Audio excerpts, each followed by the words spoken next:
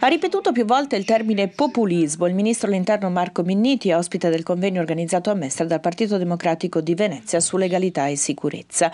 Populismo con cui gli avversari politici interpretano le politiche di sicurezza, volte a ingenerare paure più che a risolverle. All'invito di alcuni sindaci presenti di suggellare con maggior forza il patto tra istituzioni per interventi più stringenti sulla sicurezza urbana, pur riconoscendo l'apporto determinante del decreto Minniti, il ministro ha evidenziato come lo Stato si debba occupare della cornice operativa che non può prescindere dalla collaborazione di chi vive nel territorio.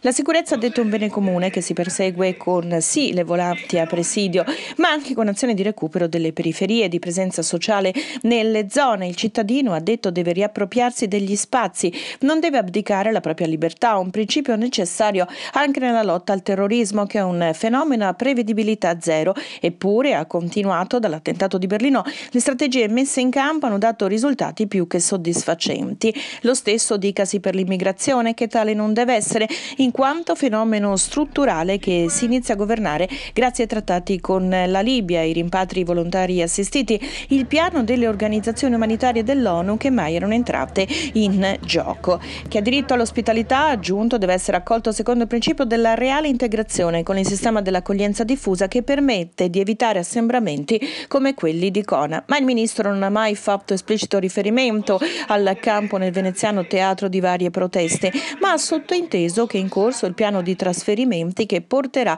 alla chiusura definitiva. Questo ha risposto ai giornalisti alla domanda diretta, ma non ha mai pronunciato la parola cona. Discorso, saluti, strette di mano e via come al solito senza concedersi ai microfoni della stampa.